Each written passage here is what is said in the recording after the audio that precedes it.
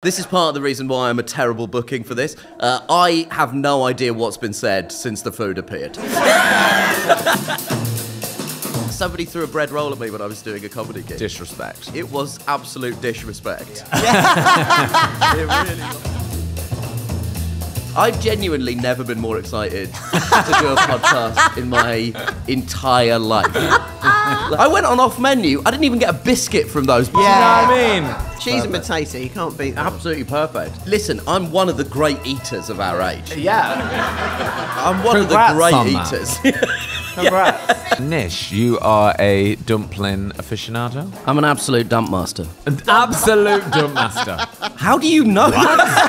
How do you know that? What are you, Breaking Bad? Like, what is this? On dish, it's Nish Kumar.